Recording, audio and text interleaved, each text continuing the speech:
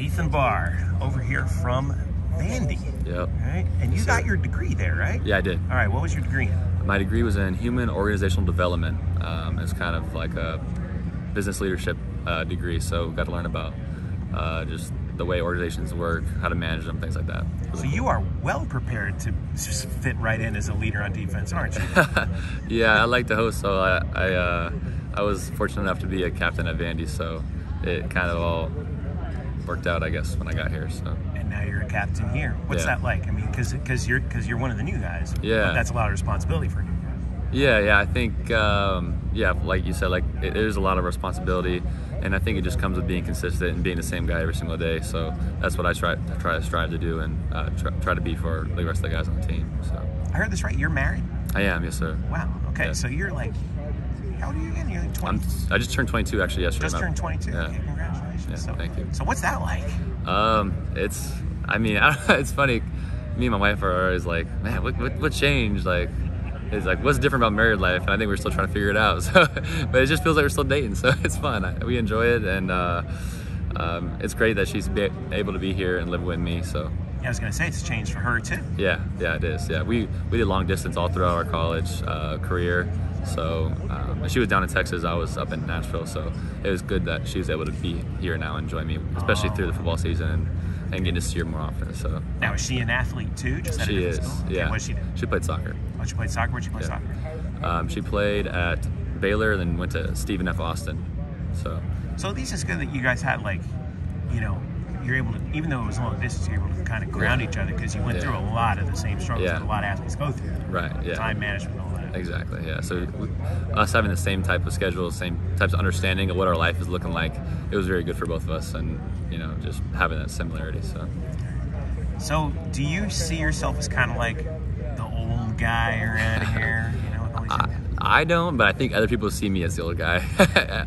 Whenever it's my, uh, being my birthday yesterday, everyone's like, "How old are you?" Like 24. I'm like, man, I'm only 22. Like, I'm not old at all. So, to me, I'm a young guy. I've always been the younger guy. So that's where kind of my head is always at. But it's funny. I think everyone else thinks sees me as a grandpa here. So, So let me ask you about on the field.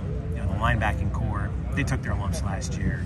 You're one of the new guys who came in and are expected to really step the game up in that unit. How has that been working out so far? It's been working out really great. Um, just uh, all throughout spring, and then over these last couple of days that we've had in camp, um, it's been really good to see us all come come together and be able to play with both the front end and the back end. I mean, all se- all off season and everything we've been doing seven on seven, but getting that all together and really be, being able to see how uh, much we've improved with not, Coach Roof's new defense. Um, it's night and day from where we started in the spring, so it's been really good. And uh, I mean, the linebackers as a whole have been put in the work all summer. I know to to get to where we are now, and it doesn't come easy, but I think we're taking the steps to, to become an improved group from um, what you're talking about. So uh, I'm excited to see what we, we kind of bring to the field this year. I think our defense is really built to help linebackers succeed and have a high level of uh, production. So. Yeah, that's my next question about that. Because, like, what was the part when you first got here that you were like, man, we really got to get better in this area? Yeah, I- think it just like leadership general, in general and just running the defense from, from that point where it was at um, and then getting more comfortable uh, into where we are now. Like you see everyone uh, being able to direct direct traffic on the defense and things like that and get everyone lined up, get ready to go and and be able to be more efficient as a defense has been a big step uh, from where we were at before. So communication. right? Communication for sure, Yeah. yeah. How? Put us, put me inside your helmet. Like, Yeah. I feel like that's such an underrated part. of it. Yeah. Everybody that I talk to, like when you get really into it, like th- that's hard. It's loud Yeah. when you're on defense. How do you guys manage to keep everybody on the same page in the game? Yeah, I think a lot of it uh, is a lot of the communication is done in the week and, and prior to the game, and, and being on the same page before you have to frantically be on the same page. You know what I mean? So uh, I think being able to like look at somebody and be like, okay, like you or me or you're that way, or just kind of saying you're dropping out that way. Things like that just help remind each other what we're doing, or just communicating when there's a, a, ch- motion or shift or things like that. Being able to see that on film prior to, and then and translating that onto the field.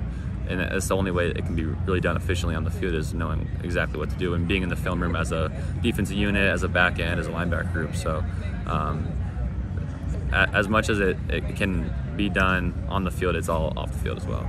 Yeah. So you played at Vandy. Yeah. KJ played at Arkansas. Mm-hmm. You guys matched up against each other. We never did actually. No, yeah, that was one of the t- probably one of the only teams I didn't play. Them and LSU, think, were the two teams I didn't get to play in the SEC. Have you tackled him in practice yet? No, he hasn't been live to this point. but uh, we'll see. Maybe he uh, maybe he gets live, but I, don't imagine it. Last question. What was the best gift you got from your wedding? Ooh, shoot. I think my the best gift I got was probably I had a, like a cross necklace that I would always wear, but then it broke when I was playing around. With my, I was wrestling with my brother in like the ocean, and it broke. So my wife got me this one, um, so it gold to match my ring. So I'm I, I really really uh, love this gift. What's the best gift you got her?